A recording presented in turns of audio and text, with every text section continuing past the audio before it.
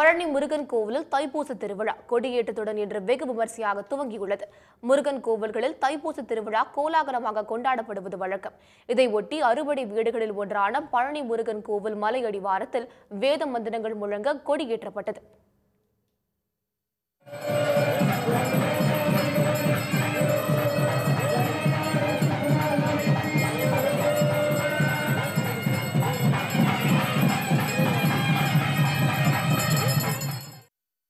தைப்பூச திருவிழாவின் முக்கிய நிகழ்வான திருக்கல்யாண நிகழ்ச்சி இருபத்தி ஏழாம் தேதி நடைபெறவுள்ளது.